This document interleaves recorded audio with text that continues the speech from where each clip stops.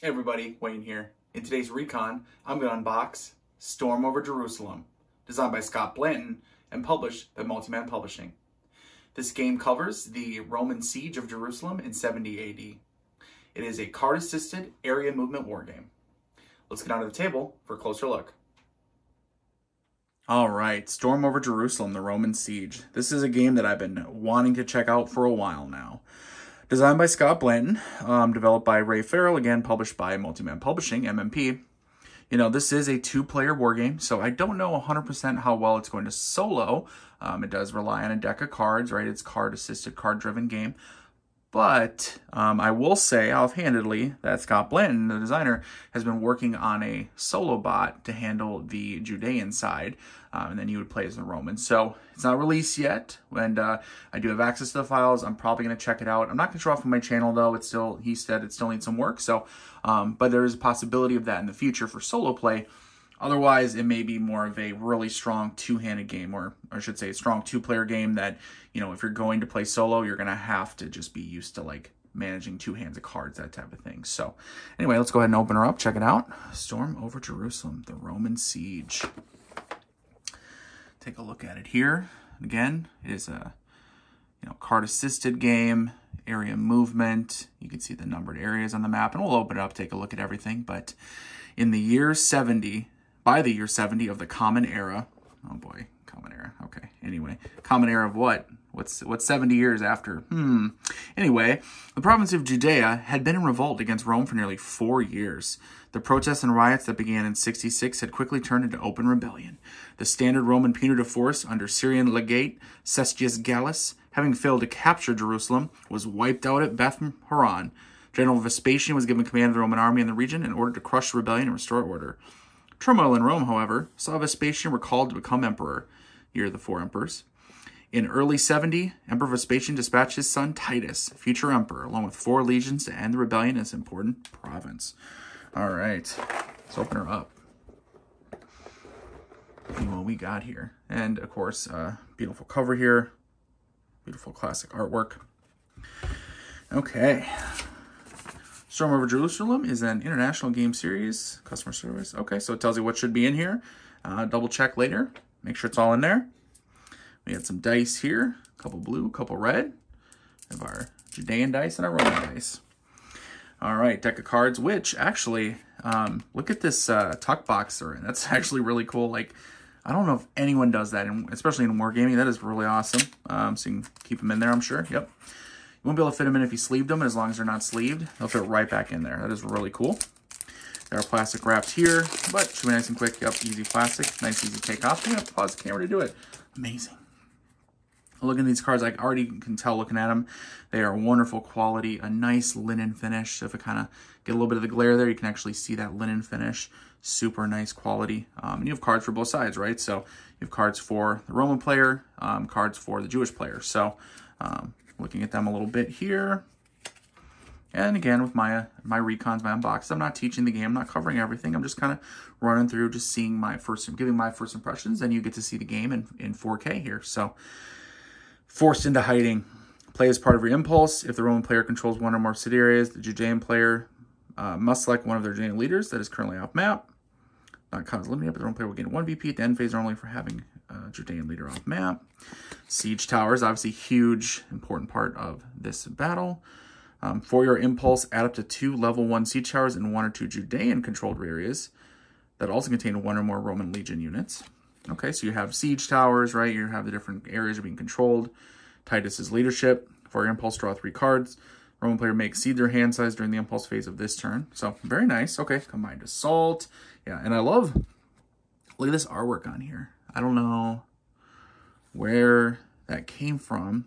Mortality, Palisades built, famine, but wonderful, um, wonderful artwork on these cards. So very nice. Some Roman cards. Let's look at some of the Judean player cards. Sorry if I bumped the camera there. Divine Intervention.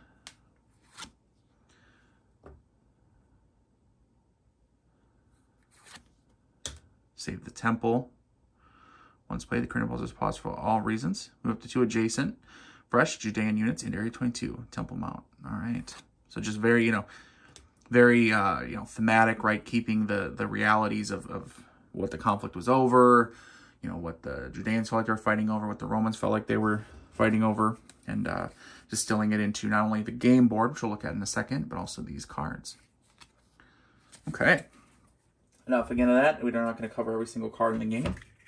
If I do a potential playthrough, uh, which I don't know if I will, we'll see. So, all right, the rule book here, and I know I've already looked at the PDF of the rules. It is not a thick rule book at all. It ends with, you can see here it's part of an example, which by the way, nice full color glossy style rule book, but 12 pages, and that is with this last um, example, which I think is a couple pages long. Yep, a couple of pages. So the actual rules here go down and end after 10 pages. So not heavy, um, a heavy rule, rule laden game. Um, I looked at the back of the box. What does it say? It is considered, yeah, they have it as low complexity. I don't know if I'd rate it low. Um, probably low in MMP's catalog, but low is for uh, most war games. No, probably like a low medium though. But all right, so full color, um, case style. You have, you know, units here and showing what they are, everything about them, their firepower, defense strength, movement, um, the fresh side, and then the spent side. The two different uh, sort of factions for the Judeans, Simon and John, and have a you know purple and blue, and then the red for the Romans. Telling you, you know, card layouts, map key, all the good stuff here. Looks like we got lots of oh, movement example, very nice. Always love having sequence of play. So you're drawing cards, you have your impulses, right? You're activating areas during impulse, end phase, wrap up, I'm sure, with cards, and then looks like a bunch of steps there. It doesn't look like an overly complicated when I read the, oh, and here look, uh, attack example, applying damage points, attack from tactical card example, assault example. So lots of examples with pictures. I really, really appreciate that, and lots of pictures in general, which, you know, visual learner, very nice. Okay, fantastic. Again, I'm not trying to learn the game here. We're just trying to look things over, and so far, looks pretty good. All right, Storm of Jerusalem player aid card here. Double-sided. Cardstock, uh, eh, not too thick, but that's all right.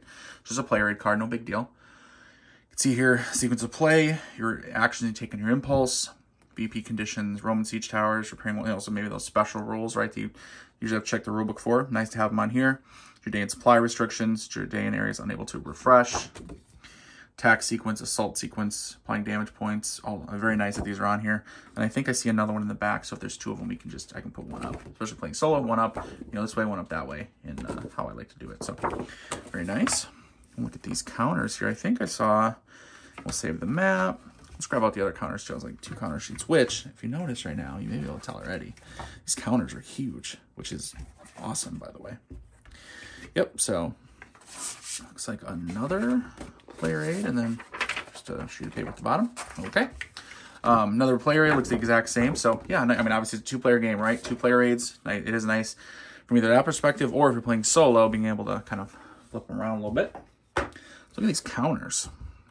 Counter sheet one and two so these counters, and again, I film in 4K, so you should have a nice, good view of them.